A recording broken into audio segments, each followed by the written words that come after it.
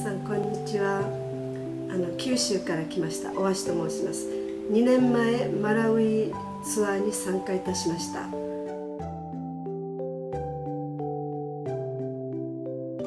く前は随分、えー、お金もかかるし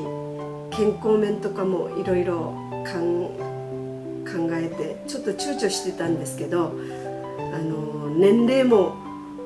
ちょっとアフリカまでどうなのかなっていうのもあったのですがあのまだ私たちよりあの高い年齢の方もいらっしゃるというのをあの聞いてちょっと勇気を持って出かけました。であの注射をした方がいいのかなとかやっぱり薬は何を持っていった方がいいのかなとか思ってあのワールドビジョンに電話したこともありました。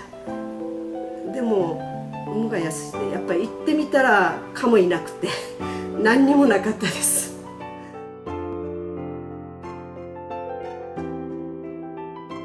私たちはお土産に紙飛行機を作ってやろうということで、えー、広告の紙をですねたくさん。集めてから現地で折り紙を作って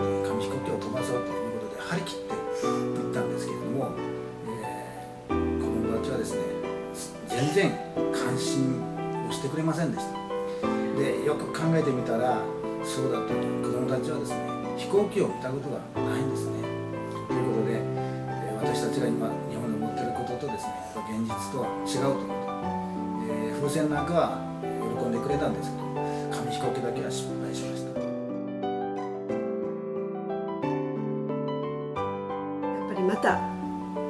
マラウイがあったら行きたいなっていう気はあるけどやはり私はあの行けなかった人たちに譲りたいと思います。